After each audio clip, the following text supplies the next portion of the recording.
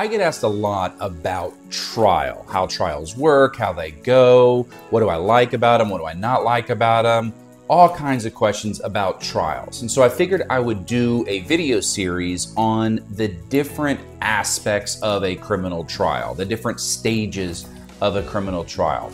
I figured I would break this up into several videos because I'd want to go into a, at least a little bit of detail on each stage, what it is, what it means, what are some of the things to watch out for during them. So this is going to be the first video of that series. And in this video, let's just do an overview of the 10 different stages of a criminal trial. So stick around and let's talk about it.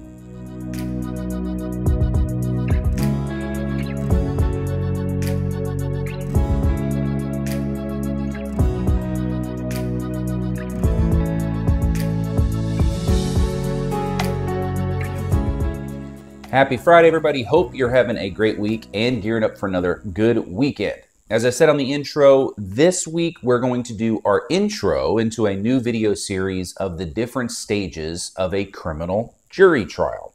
This is video one. This is the first video. We're just going to kind of list all of the 10 stages, or at least when I think of how it breaks up, the 10 stages of a criminal jury trial.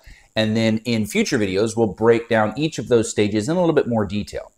Now, as always, as a reminder, this year I'm really trying to grow not only this channel, but my Twitch stream. So please, if you could, like this video. It's that little thumbs up icon down there at the bottom. Subscribe to the channel if you haven't already. But then more importantly, on Sundays, Sundays at 745 over on Twitch, you'll see the website link in the video description below go over to Twitch and join me on my live stream. Each week I play some type of video game, but more importantly, I have conversations about the law, life, what you've done this week, something that we should celebrate as a group, and just a good time. So please swing by, hang out, throw me a follow over there because it really, really helps. All right.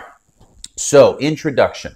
What are, in my opinion, the 10 different distinct stages of a criminal trial? Well, they go something like this. Stage number one. Stage number one is the pretrial motions. And sometimes this is linked up into one day, sometimes it's several days. But stage number one is pretrial motions and hearings.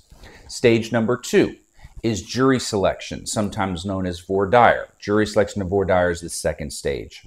Stage number three, opening statements, where both sides get to tell the jury what they feel the evidence is about to show them. Stage four is the government case in chief. That is where the government puts on all of their witnesses and everything that that, that has to do. Stage five would be the defendant's case in chief, where the defendant calls witnesses and puts forth evidence and that sort of thing.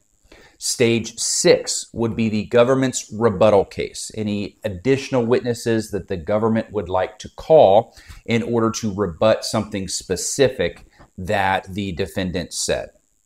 Stage seven would be the jury charge conference, a, a kind of stage of the proceedings that really gets overlooked, does not get talked about a lot, but is incredibly, incredibly important.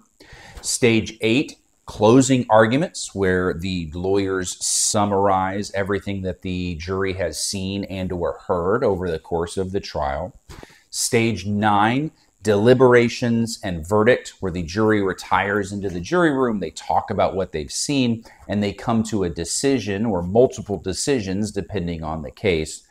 And stage 10, sentencing, if it's necessary. Sometimes it is, sometimes it isn't, but there's to the extent that the person is convicted, then it moves on to a sentencing phase, which is completely separate from the guilt innocent phase of the trial. So, in my mind, when I break down the different stages of a criminal trial, those are the 10 stages that, in my mind, are just distinct and worth discussing.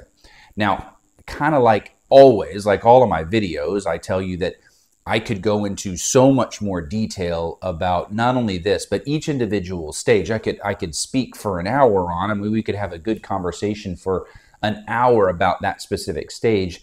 But that's not really my intent. It's not to do a deep dive, a deep, deep dive on any one specific stage. It's more to give an overview because as I've been practicing and I talk to people, specifically non lawyers, about trial, um, I get questions that that really show that there's this mystique, there's this mystery that revolves around trials. I mean, we get all of our information basically from what we see on TV, on movies, um, or in the rare instance that we've had a friend or a family member, or maybe even ourselves, that have gone through a trial or seen a trial in person, then we have a little bit more insight into how it works. But even then, it's kind of this weird, mysterious, crazy thing, which in my mind is is kind of bizarre because trials in in 99% of, of the cases are open to the public. Our, our system is designed to be open to where the public can at any point go and observe a trial. So i wanted to do these videos. I wanted to shed some light on exactly how this process works because i think it's important information for everybody to have to know exactly how this system works and what are the intricacies of it. So I look forward to kind of going into each one of these stages as the weeks go on. As always, if you have a specific question about this or anything else that I've said, then the best way for you to get that answer is to swing by my Twitch stream on Sundays and ask it. I'm happy to answer any questions that I get over there. Otherwise, leave a comment, shoot me an email, give me a call, and I'm always happy to answer whatever questions I have.